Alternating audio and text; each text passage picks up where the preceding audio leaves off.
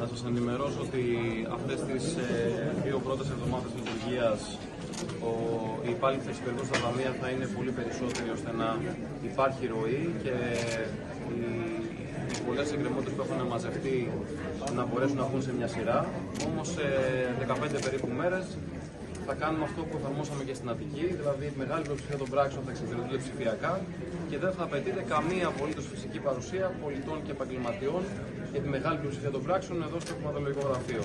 Για να μπορέσουμε να δώσουμε χώρο και ανάσα σε δικηγόρου ε, και δημοσίου λειτουργού, να πάμε να μηδενίσουμε τι εκκρεμότητε και να εξασφαλίσουμε την περιουσία των ιδιοκτητών τη Θεσσαλονίκη.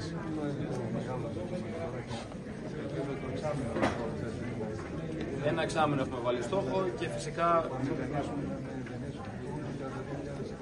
ακριβώς και να εξυπηρετούνται από αυτό το σημείο και έπειτα ε, οι πράξεις οι οποίες δεν έχουν προηγούμενες εκκρεμότητες μέσα σε μια εργάσιμη μέρα, οι αγοραπολισίες.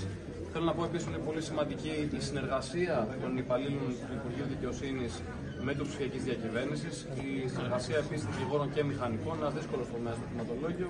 Άρα λοιπόν νομική και γεωγραφική πληροφορία είναι κάτι το οποίο πρέπει να συνδυάζεται πάντα με στόχο την εξυπηρέτηση του πολίτη.